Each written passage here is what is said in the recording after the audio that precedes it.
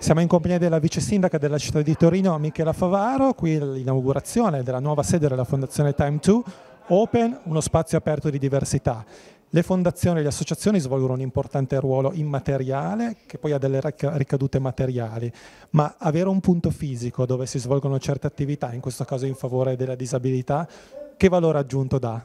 Ha un grandissimo valore perché diventa un luogo veramente open, cioè aperto, dove tutti possono e tutte possono sentirsi eh, inclusi, possono partecipare alla vita della città attraverso attività che sono proprio finalizzate all'empowerment, che, che credo che sia quello di cui hanno bisogno i nostri giovani e le nostre giovani. Ecco, la città di Torino come può porsi rispetto appunto a queste iniziative con le fondazioni anche in un'ottica di sinergia? La città di Torino eh, deve innanzitutto condividere le strategie e eh, per proprio dare un orizzonte all'interno del quale ognuno può fare un pezzo e eh, la sinergia tra eh, l'amministrazione e le, il terzo settore è veramente la chiave poi del successo dei nostri progetti. Siamo qui con Samuele Pigoni, segretario generale di Fondazione Time2.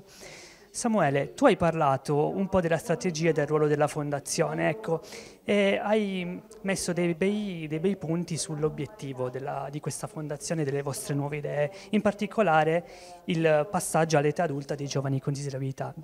Vorrei un attimino capire meglio quali sono questi vostri obiettivi, anche se ci spieghi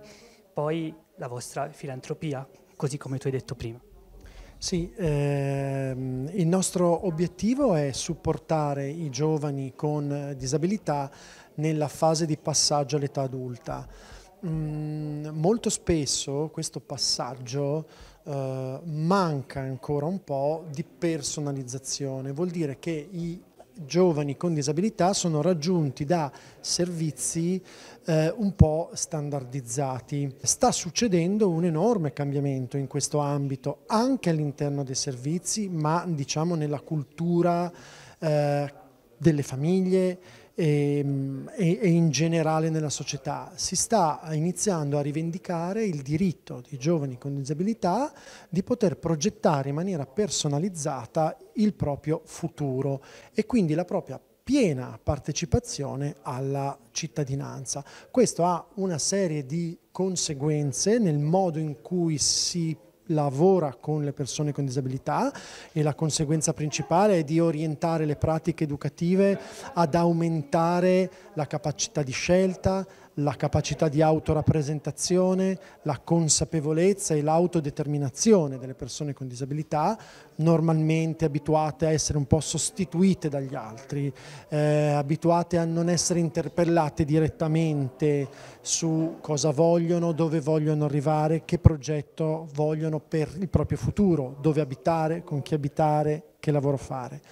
Quindi da un lato c'è un tema di promozione di pratiche educative in un qualche modo emancipatorie che aumentino la capacità delle persone di essere indipendenti, dall'altro c'è tutto un lavoro sui contesti di qualunque tipo, perché se il passaggio alla vita adulta avviene nella città vuol dire che i contesti devono essere capaci di sostenere le caratteristiche diverse dei cittadini, quindi anche le disabilità. E allora c'è un lavoro culturale formativo che stiamo facendo con un sacco di organizzazioni che hanno enorme desiderio di eh, sposare questa causa e questo è un po' in sintesi quello che facciamo.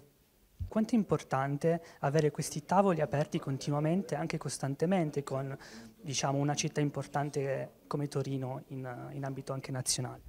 Beh, è fondamentale, il modo in cui noi interpretiamo il mandato filantropico è, di, è sistemico, quindi è di lavoro con le istituzioni, con le reti dei servizi e con gli altri attori del terzo settore. Abbiamo in mente cause, diciamo obiettivi che in nessun modo possiamo raggiungere da soli e, e, che, e, che, invece richiedono una stretta collaborazione e una messa in discussione continua eh, proprio perché il cambiamento o è della società o è manchevole. Allora, ti ringrazio tantissimo per il tempo che ci hai dedicato e per ora da Volon è tutto.